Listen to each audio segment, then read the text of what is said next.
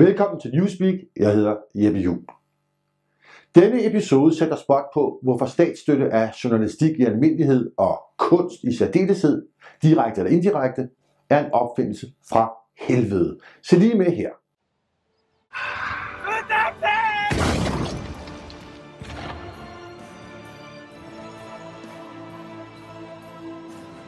Det var selvfølgelig et klip fra Danmarks Radios dramaserie 1864. Serien blev rost af få og rettet ned af flere. Beskyldninger om historiske fordrejninger og kulturradikal nutidsvikling folk med gode grunde gennem luften. For der var noget om snakken. Ja, ikke alene var der noget om snakken. Beskyldningerne var fuldstændig korrekte. Serien blev simpelthen lavet som led i en kulturkamp mod DF. Det bekræftede denne mand i politikken for nylig. Se godt på ham. Det er Danmarks Radios tidligere mangeårige dramachef Ingolf Gabold. Han er langt, langt klogere og langt bedre dannet end både du og jeg. I hvert fald, hvis du spørger ham selv. Ja, han er faktisk så klog, at han ved, hvad der er bedst for både dig og mig. Og han har ingen problemer med at bruge hundredvis af millioner af dine og mine skattekroner for at forsøge at få os små mennesker til at forstå, hvad der er op og ned i denne komplicerede verden. Gabriel er naturligvis inkarnationen af kulturradikal selvfedme. Mandens ufattelige arrogance er nærmest komisk. Den overgår både Carsten Jensens og Georg Metz, og det skal der altså meget til. Men ved I hvad? I modsætning til så mange andre, så synes jeg faktisk, at Gabriel på en eller anden finurlig måde fortjener kæmpe ros. Han er jo helt ærlig om sin politiske agenda i alt sit intellektuelle hovmod. For mig var det personligt en befrielse at læse det opsigtsvækkende interview i Politiken for nylig, hvor han tonede rent flag og sagde det lige ud, som det var. Nemlig, at dramaproduktionerne under hans virke, især Krøniken og Borgen, men i særdeleshed 1864, var politiske bestillingsarbejder, der havde til formål at bekæmpe Dansk Folkepartis formørkede nationalisme. Gabriel erklærer sig selv som europæer, før han er dansker. Og det skal han naturligvis have lov til at være.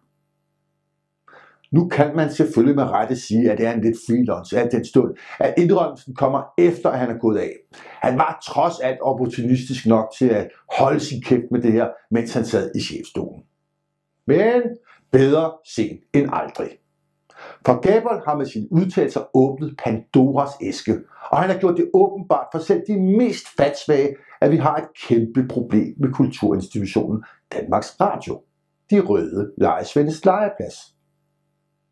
Problemet er jo ikke, at det er, der findes kreative sjæle, der har en politisk agenda. Der har jeg eksempelvis selv, lige nu, lige her. Problemet er, at andre tvinges til at betale for den her agenda. Når Dansk Folkeparti i kølvandet, øh, kølvandet på den her sag går ud og kræver politisk gennemsyn og historisk faktatjek over dramaerne manuskripter, så skuer det fælt og semi-totalitært i mine ører. Ja, der er en pervers logik over forslaget, men det skyldes jo udelukkende det faktum, at Danmarks Radio lever af tvangslicens. Politikere skal naturligvis ikke blande sig i kunst. Gabriel og andre frelste røvhuller, for nu at sige det som det er, er i deres aldeles gode ret til at propagandere, lyve og manipulere alt det, de vil. Men det skal ikke ske for dine og mine penge. Det skal ske i et frit marked, hvor brugerne selv kan vælge og fravælge, hvad de vil belære sig om. Løsningen den eneste logiske løsning ligger lige for. Danmarks Radio skal laves om til en frivillig brugerkanal. Licensen skal skrottes, helt skrottes, så vi selv kan bestemme, hvad vi vil se af hvem og hvornår. Og det er jo også derfor, at en perlerække af Gabriels ekskollegaer har fået deres kaffelatte helt galt i halsen om på hans udtalelser. Alle har, uden undtagelse, på det kraftigste taget afstand fra hans udtalelser. De kan ikke andet. Jeg kan godt fortælle jer, at de ryster på hånden lige nu, i direktionsgangene på Danmarks Radio, og ikke mindst i dramaafdelingen. Deres eksistensgrundlag er truet oven på Gabriels forsinket ærlige udmelding. Og Gud skal lov for det. Afskaf den licens. Du har set Newspeak, jeg hedder Jeppe Juhl. Gud bevarer Danmark, men ikke Danmarks Radio.